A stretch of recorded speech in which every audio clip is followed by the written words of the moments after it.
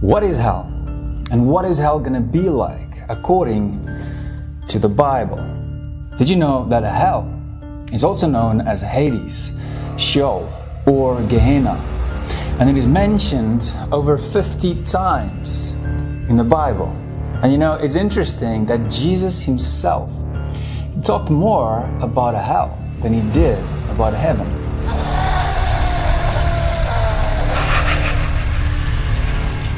And he described it vividly, while most churches today don't even talk about hell anymore. So, in this video, I'm going to be very honest and tell you exactly what hell is going to be like according to the Bible. So, let's get to it.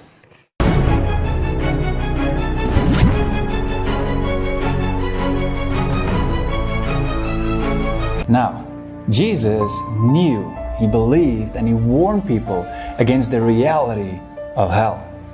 And we know that true Christianity is built on the Bible, not the Bible plus anything else. What is the Bible? What is the Word of God?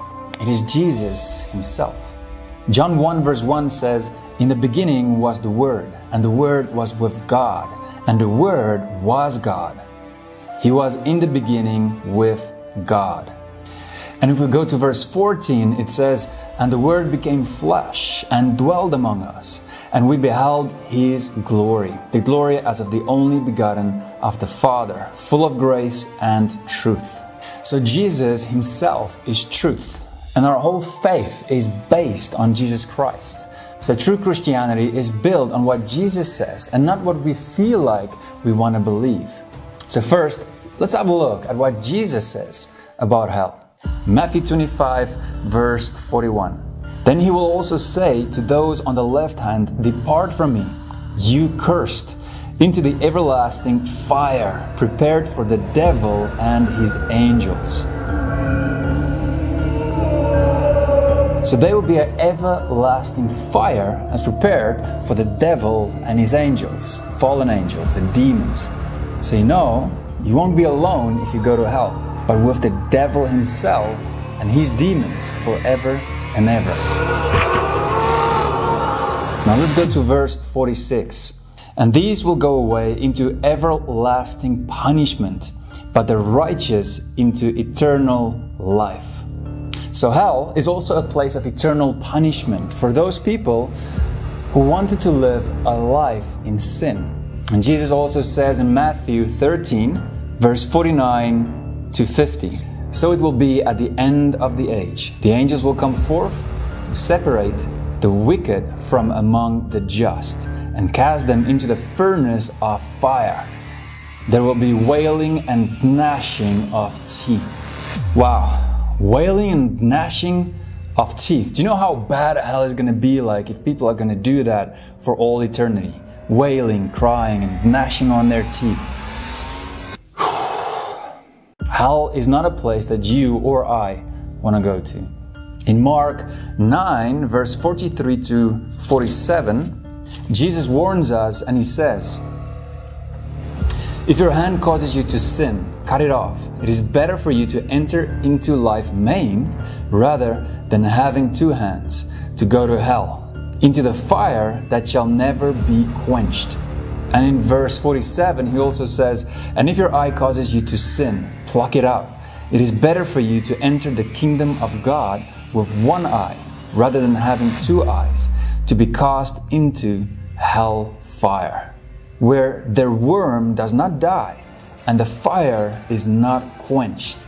It's very clear that Jesus warns us about the absolute reality of hell and that we will go there for all eternity and suffer if we don't turn away from our sins. In Matthew 25, verse 30, Jesus says it again. Listen to this. And cast the unprofitable servant into the outer darkness. There will be weeping and gnashing of teeth. So, why does Jesus say that it will be the outer darkness? Because it will be a place without God, and God is light. In 2 Thessalonians 1, verse 9, we read, these shall be punished with everlasting destruction from the presence of the Lord and from the glory of his power. Now imagine a place without God. Because all good things come from God. So imagine, just for a second, what a hell would be like, which is a dark place of punishment with the devil and his demons, the fire that never stops, wailing and gnashing of teeth that never ever stops. If you go there, you'll be tormented for all eternity. And it's a place without God. Jesus says further in Matthew 10, verse 28 And do not fear those who kill the body, but cannot kill the soul, but rather fear him who is able to destroy both soul and body in hell. So the body and the soul will be tormented in hell. So now you know what Jesus says about hell. So let's look at a few other Bible verses. Revelation 21, verse 8. But the cowardly, unbelieving, abominable, murderers, sexual immoral, sorcerers, idolaters, and all liars shall have their part in the lake, which burns with fire and brimstone, which is the second death. So the Bible is very clear that those who choose, and emphasis on choose because it is a choice, will be judged by God. And as a punishment, will be without God, suffering for all eternity. And there's going to be no way out. And you need to know that God is love, and He does give you time to come to Him.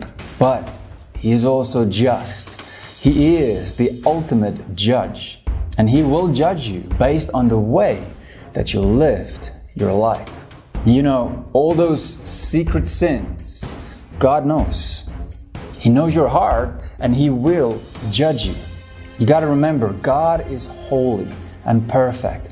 And all of us, we all have sinned against Him, against His law. Now, whether we like it or not, that doesn't matter. What matters is the truth. Only truth matters at the end. So God is just, and He did not even spare the angels that sinned against Him. So He's not going to spare us from His righteous judgment. 2 Peter 2, verse 4 says, For if God did not spare the angels who sinned, but caused them down to hell and delivered them into chains of darkness to be reserved for judgment. And so, with this verse, we also see that there's already demons in hell right now in chains of darkness. What else will hell be like? Well, we know that there's going to be different degrees of punishment. For example, in Revelation 20, verse 12 to 13, and I saw the dead, small and great, standing before God, and books were opened, and another book was opened, which is the book of life. And the dead were judged according to their works, by the things which were written in the books. Verse 13 The sea gave up the dead who were in it, and death and Hades delivered up the dead who were in them. Now listen to this. And they were judged, each one according to his works. Now, Jesus also talked about this in the parable of the wicked servant. We read that in Luke 12, verse 42 to 48. All right, but I'm not going to read everything here. Let me just go to verse 46. The master of the servant will come on a day when he is not looking for him, and at an hour when he is not aware, and will cut him in two and appoint him his portion with the unbelievers. Now, just so you know, Jesus is talking about his second coming here, about Judgment Day. Let's continue to verse 47. And that servant who knew his master's will and did not prepare himself or do according to his will shall be beaten with many stripes. But he who did not know, yet committed things deserving of stripes, shall be beaten with few. For everyone to whom much is given, from him much will be required, and to whom much has been committed, of him they will ask the more. So we can clearly see here that some people will be punished more than others. And just a warning here if you are a Christian leader, be very, very careful.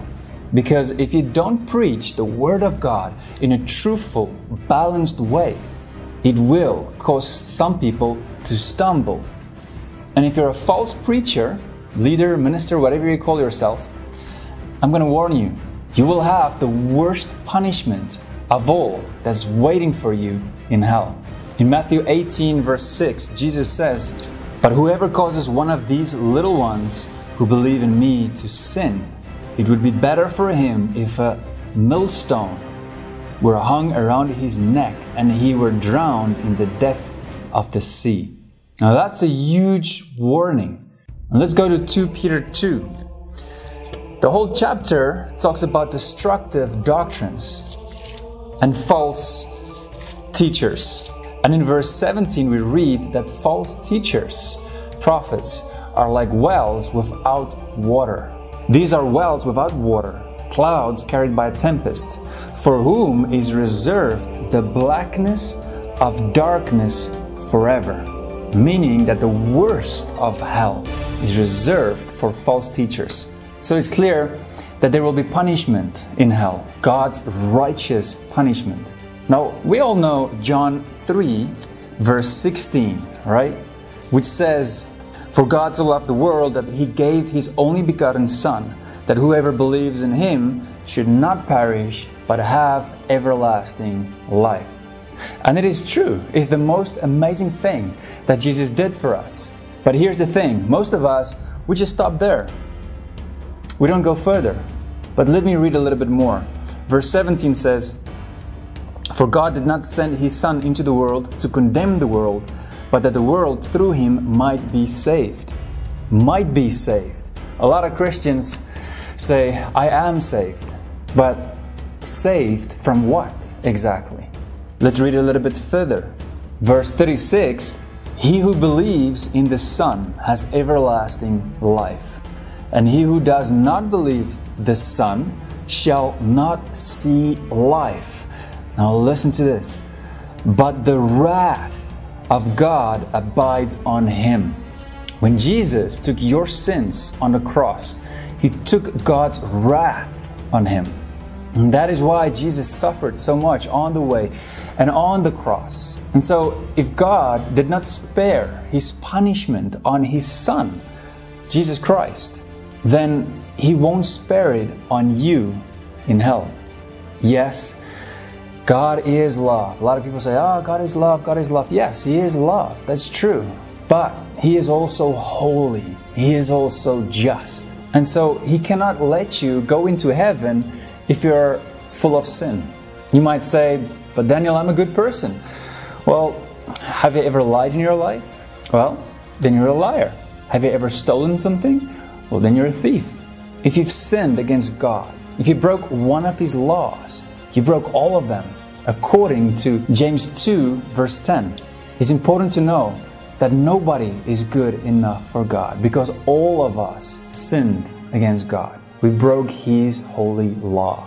When you have some free time, go and read Romans chapter 1 uh, through to chapter 8. It explains this in full detail. But the amazing thing is, is that God gave us a way out. A way out from all this punishment. And that's through Jesus Christ, His Son.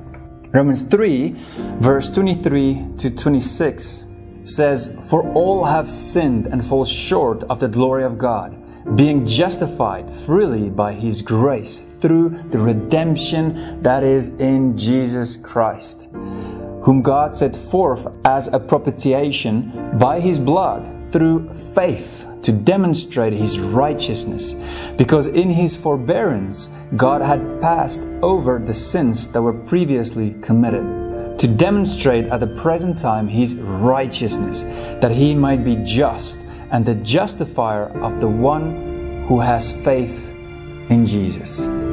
How amazing is that? that the blood of Jesus Christ paid for your sins and mine, but only if you accept that Jesus Christ took your punishment from God in your place.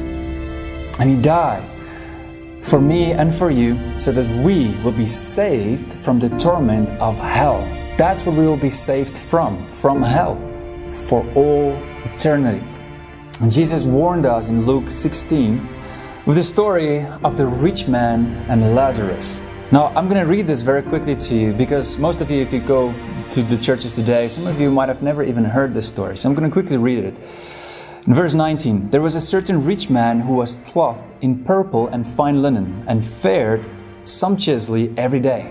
But there was a certain beggar named Lazarus, full of sores, who was laid at his gate, desiring to be fed with the crumbs which fell from the rich man's table.